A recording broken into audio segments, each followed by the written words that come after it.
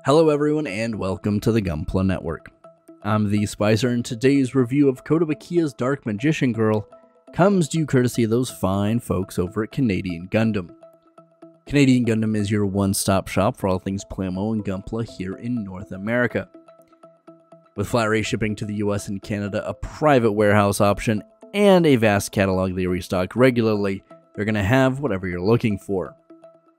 So when you're checking that vast catalog and placing your next order, don't forget to use the promo code Gunpla Network to save yourself 10% off. Now, my kind of general thoughts on this are somewhat weird. I do think I like it better than the Wonder Woman that I built previously, and I do definitely like it more than the Lacus Clyne I built. So as far as comparing it to like a figure figurized standard, I think this is slightly better. Um, I'll talk about why in a little bit, but this is still something that my personal taste has a bias to, I guess. This is something, and this is just a personal thing for me, but a lot of anime characters that aren't mechs, that aren't people in power suits or whatever, I kind of like more in a statue, a prize figure type form, right? Now, this I think is still a very good version of the Dark Magician Girl, but there are some things I do think maybe hinder it just a hair, and I'll, I'll talk about those more in a moment. But as far as the visuals of this kit, it's actually pretty spot on. Um, now, of course, the box can be painted up, so the jewels are like a metallic color. Um, the little emblem on the front, I think, is painted up. I think there's some shading work here and there. But generally, like the out of box experience is pretty solid. Like you could just pop this on your shelf, and as long as you're not looking for those details, you're really not going to be dissatisfied with what you're looking at. Now, I will say that I think a flat coat on like all the light blue would go very, very far in making this look much closer to its anime counterpart, but that's just me. Now, kind of an accessory, kind of a visual thing, you do get two different front hair pieces with the hair swishing to either side. And then you do have four different face plates. So you kind of have her looking off to the side, um, and then, of course, with the two different hair pieces, it works with either. It's just, I guess, how you want to pose it, because you also get two different helmets for the two different hair pieces. Very odd they did this, but it, it's not bad. Uh, you also get a winking face, which once again kind of works with either side, but the hair swishing towards the more open eye, I think, does look better. So you have some options. Some of the faces work better with one side or the other, but none of them are entirely invalidated by one side or the other. You do get like a, a screaming face, an attacking face, whatever you want to call it, with both sides. Once again, works very well with either. Doesn't block the eyes, doesn't block the mouth, none of that. And then you also have the kind of concerned, worried face or confused face. And once again, this is going to work with either one. Uh, I did all of these without the helmet on, but you'll see the helmet for the rest of the video, so I give you a little taste of no helmet, I guess. It also helps kind of distinguish the hair pieces a little better. You also have the gym on the front of her like shoulder pads thing that I think is supposed to be painted in, but there's no sticker for it, so it's just plain plastic. Then you get the orange or kind of yellowy jewels on the kind of elbows, the pink jewels on the wrist, and then you get the kind of orangey yellow jewels on the feet. Plus, one of the few pre molded parts that is actually made in two different colors the blue and the pink. You get one on the front and the back of the skirts. So now that we have the visuals down, what is this like to actually mess with? I mean, is it posable functionally? Yes and no. You do get to stand with it, which is actually quite nice, because I think more of the kind of Yu-Gi-Oh! esque poses are going to work better for that, but you can get her in a standing static pose that looks fine, have the wand over the shoulder. One of the concerns I did have in the unboxing was the cape. is kind of molded in one position. I think for a Yu-Gi-Oh game character, I think that's fine, but I would have preferred it to like have two different versions that you could have like a laying flat one and a flying one. But regardless, it's more of a nitpick than it is anything. But at least in the static poses, you do get more mileage, if you will, out of the faceplates. Uh, it's kind of more the central attraction of the figurine, or of the model kit rather, uh, as opposed to trying to sell a dynamic action. Now, if you do decide to do somewhat of an in between, it's a little dynamic. You can change the faceplate, wave the wand out, pull the hand away, and kick one of the legs up. Now, with the stand, this is totally possible. This is relatively easy to pull off.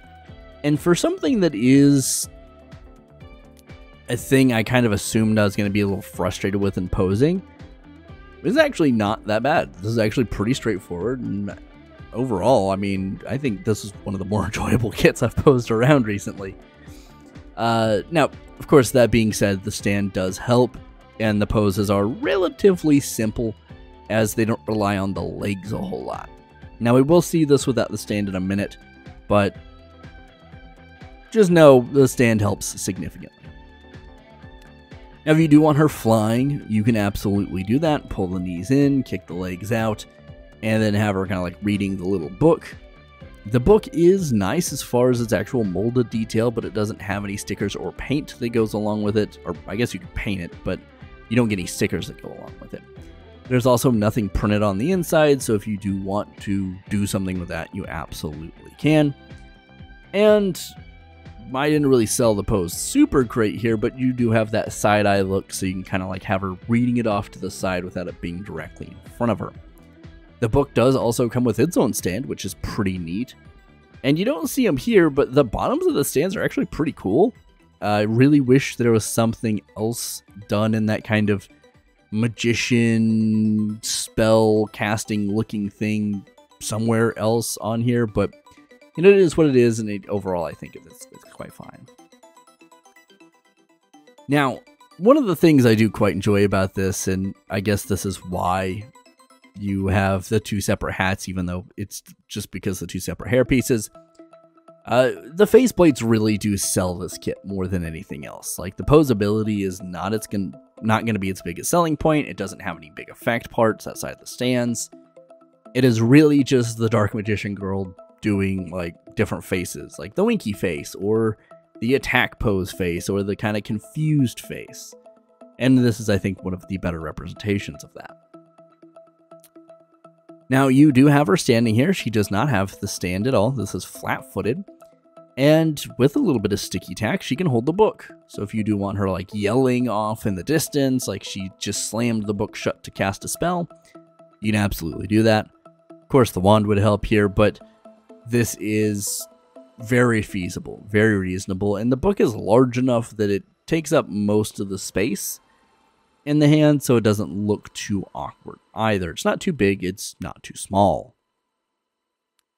You can also have her point to the book. Now, like I said, there's nothing in there, but if you wanted to scribble some stuff or maybe print out a version of some text you want to put in there, scaling is going to be kind of a pain, but you can do it very it's just flat plastic, so you could definitely do so. And if you wanted to paint the book pages to like a, a more tan tone, I think that would kind of fit the old tome, old book vibe that I imagine this is supposed to be. Uh, but you do have some interesting posability, and I think the creativity in posing this somewhat is its strength. Uh, the, the attack poses and everything are cool, but I think playing into the character and kind of the, I don't say the goofiness, but kind of the goofiness uh, does kind of help sell the vibe a little bit more. Now here she is next to the Wonder Waifu, which of course I did paint up some, so it is going to look different, but if you have other Kotobukiya kits, this fits right in. This is not all that drastically different, and yeah, I mean, I think it works. I would really like it if they would do other Yu Gi Oh stuff. Uh, unfortunately, I don't have any like Yu-Gi-Oh scale figurines or prize figures or anything to kind of put this up against, but it would still be a cool display piece if you have a lot of those. And kind of to round us out here, I mean, what how do I feel about this? Like I said at the top, this is something I would personally probably prefer a scale figure, or not obviously a scale figure, but like a prize figure, something that's already pre-posed. You don't have to worry about any of the joints, the gapping, or anything. But I think this is one that it the model kit is not invalidated by that necessarily. You can absolutely have this and like the pop up parade version of this, or like a scale figure, whatever you want. Because I think you do get some more room to mess with it in terms of its posing that still feels like that vibe, right? Of course, a lot of Gundams and stuff. It's attack poses. It's is it firing its gun? Is it using its sword? Is it a shield? Is it kicking in some instances? Here you get to lean into kind of the goofy kind of persona that is the Dark Magician Girl, and you can have some fun with that. So, would I recommend this for people who've never seen Yu-Gi-Oh?